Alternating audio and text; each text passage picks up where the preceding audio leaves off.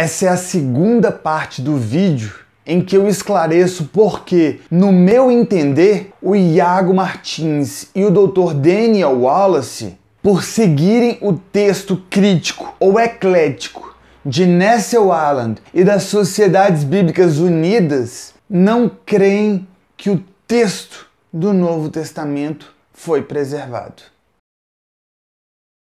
Seguindo sua recomendação do Dr. Wallace, eu tive uma pista. Perceba o jogo de palavras. O Dr. Wallace afirma que a doutrina da preservação do texto caminha na esfera da teologia. Ele, contudo, defende a preservação do texto no âmbito das evidências, na esfera dos fatos. Eu não creio na doutrina da preservação das escrituras.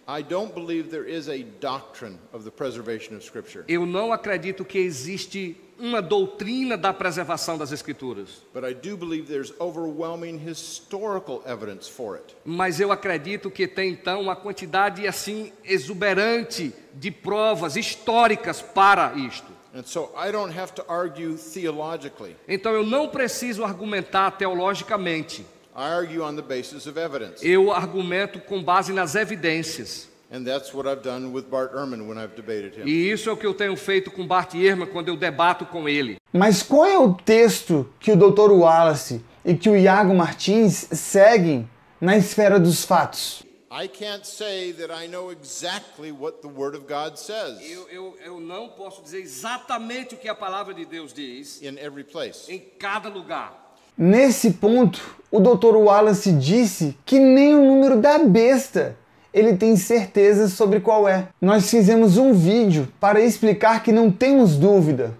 O número é 666. O que dizer sobre a passagem da mulher adúltera? In fact, this is my favorite passage that's not in the Bible. De fato, esta é a passagem, a minha passagem mais favorita que não pertence à Bíblia.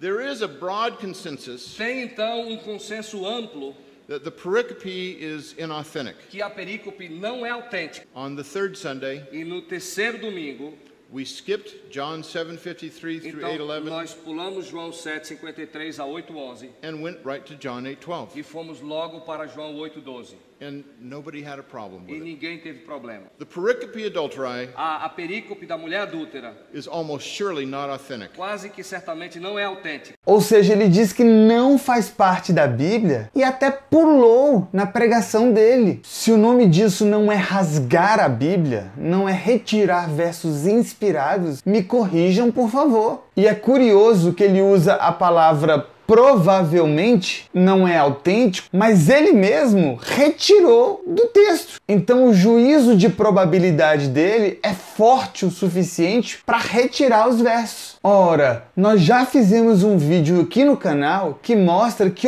85% dos manuscritos trazem esse verso e que existe uma relação de dependência sintática dos versos 1 a 11 do capítulo 8 com o verso 12 do capítulo 8, já que Jesus estava ensinando, foi interrompido pelos fariseus trazendo a mulher adúltera, os fariseus saíram e Jesus prossegue ensinando. Outra passagem foi o final de Marcos. Perceba que, embora o Dr. Wallace diga que existam apenas dois manuscritos sem esses versos, There's in fact only two Greek manuscripts that don't. De fato, só existem dois manuscritos gregos que não têm esse termina essa terminação longa. Ele tira os versos porque ele prefere tirar a harmonia do Novo Testamento. Isso é algo declarado. Ele utiliza a metodologia da leitura mais difícil. You remember we talked about harder reading? Lembra que falamos sobre as, as leituras mais difíceis? The harder reading between these two a, a, a, a leitura mais difícil entre esses dois is the shorter ending. É o final mais breve. So even though we only have two Greek manuscripts, embora nós temos somente dois manuscritos gregos, they are the most important manuscripts. Eles são os manuscritos mais importantes. Nós fizemos um vídeo no canal que mostra que 99,9% dos manuscritos trazem esse final que eles chamam de longo. Ou seja, para eles, esses dois manuscritos são mais importantes que os 1700 juntos. Isso é alegar preservação com base nas evidências? At least 95% of all manuscripts, versions and fathers Pelo menos 95% de todos os manuscritos, versões e dos pais da igreja have the long ending. têm esse final maior. I believe that we do not have verses 9 through 20 in Mark's gospel. Eu acredito que nós não temos versículos de 9 a 20 no Evangelho de Marcos. I believe those verses were added later. Eu acredito que esses versos foram acrescentados mais tarde. E sabe como que eles chegam a essas conclusões? Eles seguem os princípios que foram popularizados por Hort. Eles têm um princípio básico que manda escolher a variante que melhor explica o surgimento das outras. Analisar a intenção das pessoas é muito difícil, mas os métodos que foram utilizados, como se verá, apontam para que os manuscritos mais antigos, principalmente o Codex B, sejam escolhidos como melhores. E o Codex B foi o manuscrito adotado por Hort. Então é muito estranho a metodologia deles protegerem justamente os manuscritos mais antigos. Então, na nossa visão, a metodologia foi criada para que tudo convergisse, para que tudo resultasse na preferência dos manuscritos mais antigos, que são justamente os manuscritos que eles mais gostam. Devo lembrar que Hort não acreditava que Jesus era Deus, nem que a Bíblia era inspirada. Mas ainda assim, o entendimento dele domina os seminários teológicos, ainda que o nome dele seja omitido. Eles falam em evidência interna e externa. Subprincípios é o seguinte: It's called internal evidence. é chamado de evidência interna. This has to do with the changes that scribes would make Isso tem a ver com as possíveis mudanças que os escribas fizeram and what the author would have originally written. e aquilo que provavelmente os autores originais escreveram. Um, um dos princípios que geralmente segue é este aqui.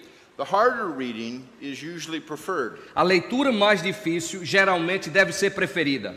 Ele diz aqui que os escribas tendiam a harmonizar os manuscritos. Então, para desfazer aquilo que os escribas fizeram indevidamente, eles têm de preferir os erros e as contradições na hora da definição do texto. Mas da onde eles tiraram isso? Da escola alexandrina de crítica textual. Mas lá eles trabalhavam com os manuscritos da Bíblia? Não, eles trabalhavam com manuscritos seculares, como o de Homero. Aí eles transportaram essas conclusões para os escribas do Novo Testamento. Mas se hipoteticamente as conclusões dessa escola alexandrina tivessem corretas, será que os escribas que copiaram o Novo Testamento teriam a mesma mentalidade? Okay, another principle is this Um outro princípio é o seguinte: the shorter reading is usually preferred. a leitura mais breve geralmente é para ser preferida. Over 1400 years of copying, E, e por cerca de 14, ah, 14 séculos de, de cópias, the New Testament grows 2%. o Novo Testamento aumentou 2%. A leitura mais curta deve ser preferida. Como ele gosta dos manuscritos mais antigos, que faltam muitos versos, Aí ele alega que o texto cresceu, que o texto aumentou. Ou seja, como os manuscritos tardios têm mais versos, o texto aumentou e a culpa é do escriba. Aí ele faz uma piadinha que os escribas ganhavam, né? Que eles recebiam pela quantidade de texto que eles copiavam. E se a piada colar, vira mais um argumento para se arrancar os versos da Bíblia. Então ele escolhe tirar palavras do Novo Testamento para ficar mais parecido com os manuscritos que foram achados no Egito. Em outras palavras, ele afirma que o Novo Testamento aumentou só porque os manuscritos do Egito, que são antigos, estão faltando versos. So these principles need to be looked at Então esses princípios precisam ser examinados in terms of intentionality. em termos ah, de intencionalidade. If it's possible to explain it as an accidental change, Se for possível ser explicado como uma mudança acidental, then the harder reading and the shorter reading então neste caso a leitura mais difícil e a leitura mais breve are not to be preferred. não deve ser preferida. Aí ele quer analisar a intenção do escriba. E tudo se volta para os pouquíssimos manuscritos antigos. Style, syntax, vocabulary, and context O estilo do autor, a sintaxe, o vocabulário e o contexto are also a very important internal piece of evidence. também são ah, evidências internas muito importantes. Aí ele mistura estilo de autor com gramática para reforçar o argumento. Então ele vai para o que ele chama de evidência externa. The second large category of evidence A segunda, a maior categoria de evidência is known as external evidence. é conhecido como evidência externa. And that has to do with the manuscripts, the versions, and the fathers. Isso tem a ver então com os manuscritos, as versões e a patrística. Como ele diz que todos os manuscritos foram corrompidos, ele leva as pessoas a crerem que não há manuscritos perfeitos para vários livros do Novo Testamento. All manuscripts are corrupt. Em outras palavras, todos os manuscritos foram corrompidos. They're not all equally corrupt. Eles não foram igualmente corrompidos. Some have very minor differences. Alguns têm diferenças muito é, mínimas. Ou seja, para ele, a falha em uma letra no livro de Mateus deixa o manuscrito corrompido para a análise do livro do Apocalipse. E em nenhum momento ele esclarece que há manuscritos perfeitos em vários livros do Novo Testamento. E ele esclarece que a metodologia é subjetiva, que depende do gosto pessoal do crítico textual. Não é algo perfeito. And all internal evidence is subjective. E toda a evidência interna é subjetiva. So, external evidence and internal evidence both Então, a evidência externa e a evidência interna, esses dois, are not exactly perfect. não são exatamente perfeitos. Aí ele diz que os manuscritos mais antigos devem ser preferidos. The oldest manuscripts are usually to be preferred. Os manuscritos mais antigos geralmente são para serem preferidos. E nós já fizemos um vídeo explicando que esses manuscritos são os piores, pela grande quantidade de erros e contradições que o texto deles tem. Some of these manuscripts, some of the later manuscripts, Alguns desses manuscritos que são mais tardios are actually very, very good manuscripts. são realmente manuscritos muito, muito bons. But most of the older manuscripts are going to be better than the later manuscripts. E, e ah, claro que a maioria dos manuscritos mais antigos vão ser melhores do que aqueles manuscritos que vieram depois. So these things are they're subjective, Veja assim que essas coisas são um tanto subjetiva, but they're not totally subjective. mas não são assim ah, totalmente subjetiva. Aí ele diz que um manuscrito com pedigree comprovado deve ser preferido. Manuscripts with a proven pedigree are usually preferred. preferred. Manuscritos que eles podem ah, ah, ah, provar com a apresentação de um pedigree a outro manuscrito forte deve geralmente ser preferido. Perceba que o pedigree do manuscrito tem relação com o gosto pessoal do crítico textual. Mas uma vez escolhido, e adivinha só, os manuscritos mais antigos são escolhidos para ter o pedigree mais alto, aí eles complementam dizendo que isso é comprovado. Aí eles dizem que os manuscritos devem ser pesados, não contados. Manuscripts are to be weighed, not counted. Os manuscritos devem ser pesados, não contados. In other words, what we're talking about is this. Em outras palavras, aquilo que nós estamos falando é isto aqui.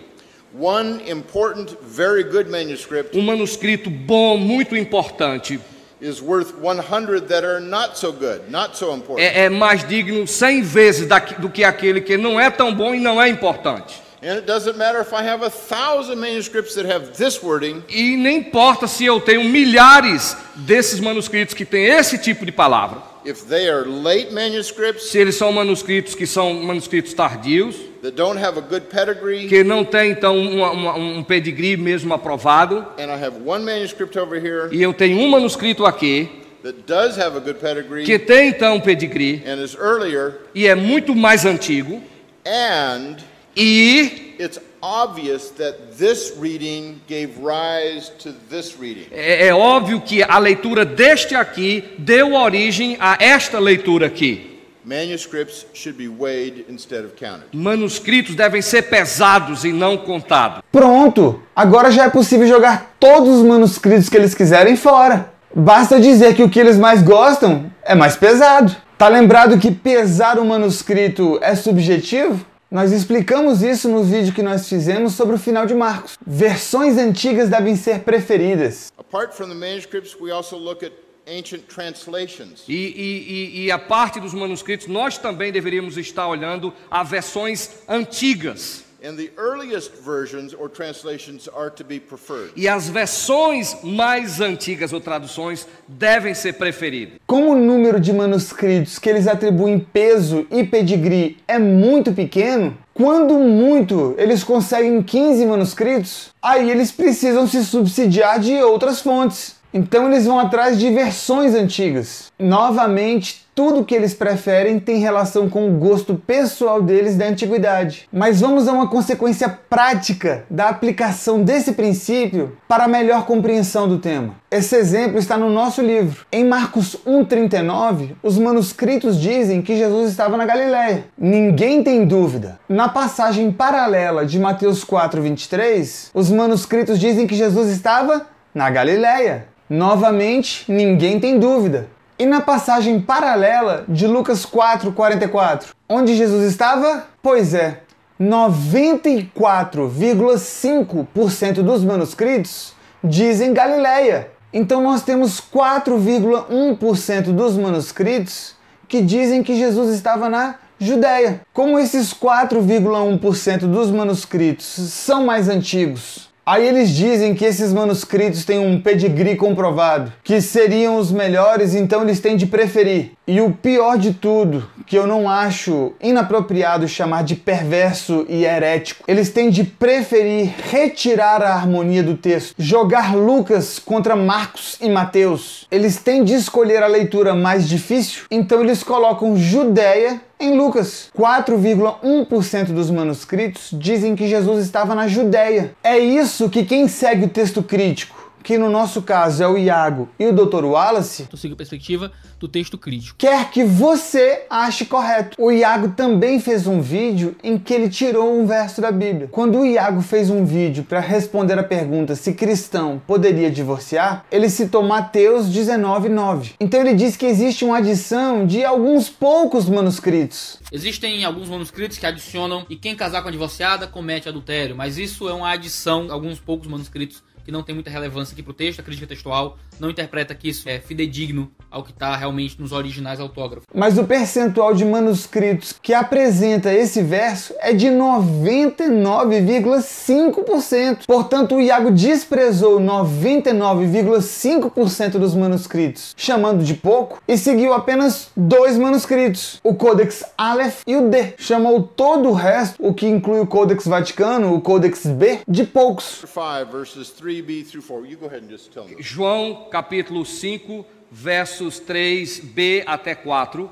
1 Timóteo 3,16, João 1 e 18, João 7, 53 a 8, 11. O Dr. Wallace também abordou João 5, 3 e 4. Todos então sugerem que João não escreveu esses três versos. When P66, P75 Sinaiticus and Vaticanus. Quando o P66, P75, o Sinaítico e o Vaticano When all four of those agree on the wording, quando esses quatro concordam numa palavra, they almost always have the original text. Eles quase sempre vão realmente concordar com o texto original. They're not only early, they're extremely important manuscripts. Eles não são simplesmente antigos, eles são extremamente importantes. E ele declarou que esses versos não são autênticos. E eu penso que é muito mais claro que esses versos não eram autênticos. Mas a última parte do verso 3, só 0,7% dos manuscritos que não apresentam o verso. Já o verso 4, 0,8% dos manuscritos omitem. Ou seja, 99 99,2% dos manuscritos trazem esse verso. Em 1 Timóteo 3,16, a palavra inspirada é Deus. Nós já fizemos um vídeo sobre isso. But the best Alexandrian manuscripts, Mas os melhores manuscritos alexandrinos, which are also our oldest manuscripts for this passage, que também são manuscritos muito antigos para estas passagens, have the word who, or it's often translated he, tem então a palavra aquele que, aí, que é às vezes traduzido como ele, E ele mesmo diz que Ros significa Ru, mas que comumente é traduzida como ele. Por que será? Mas por que, que comumente é traduzido como ele? Porque Ru, que é o sentido correto de Ros, não faz sentido. he is clearly authentic. então aquele que é, é provavelmente autêntico. It's confirmed by both external and internal evidence. É confirmado tanto pela evidência externa quanto interna. God is an early Orthodox corruption. Deus é uma corrupção ah, antiga da ortodoxia. Perceba que ele cogita uma citação só para tentar consertar o erro gramatical, e ele mesmo diz que Ros significa Ru. O Dr. Wallace também acha que podem não ser inspirados os versos 43 e 44 de Lucas 22. Ele também negou a inspiração com base em 1,3% dos manuscritos. Veja, portanto, que na percepção do Iago e do Dr. Wallace, o Novo Testamento está cheio de versos que não são inspirados. I do not believe in the doctrine of the preservation of Scripture. Eu não creio na doutrina da preservação das Escrituras. I can't say that I know exactly what the Word of God says Eu, eu, eu não posso dizer exatamente o que a palavra de Deus diz in every place. em cada lugar. E caso você, Iago, não mude de opinião, eu tenho uma pergunta para te fazer. Você recomendaria uma Bíblia sem esses versos? A Bíblia das Testemunhas de Jeová não tem o final de Marcos e a passagem da mulher adúltera. E por mais absurda que seja a posição do Dr. Wallace, ele apenas está sendo coerente com o texto grego que ele segue, que é o Nestle Aland 28. Isso nos obriga a sair do muro. Você, Iago, pularia a passagem da mulher adúltera se fosse pregar também? Que fique claro neste vídeo que eu não estou lançando dúvidas sobre as escrituras. Não! Ao contrário, eu estou mostrando que ficar com as evidências dos manuscritos implica em crer na preservação do texto, implica em crer que o texto foi preservado. Portanto, nós temos e eu ofereço uma alternativa, a família 35, em que nós defendemos expressamente a preservação do texto do Novo Testamento e trazemos bases objetivas para isso. Caso você queira essa alternativa, o nosso livro se chama Família 35, texto original do Novo Testamento, exposições de evidências. Deus preservou o seu texto. Obrigado e até o próximo vídeo.